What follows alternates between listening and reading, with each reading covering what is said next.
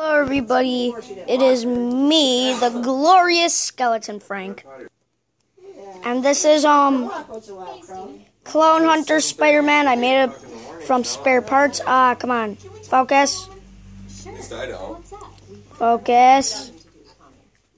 So, so, so I used um Finn's jacket from Star Wars The Force Awakens, um, replaced the dark hands with black hands, and I basically used a Robocop pants from the Lego movie and just bippity boppity boop. It gave me this Clone Hunter Spider Man, but I recommend you using the black Spider Man. No, grab some fish and bring them in. There you go. I put that And then um, it made this. under there so hopefully I can soak. So yeah, I like I like my custom Clone Hunter Spider-Man. It's a good minifig, like a very good minifig. And I will see you guys in the next video. Bye bye.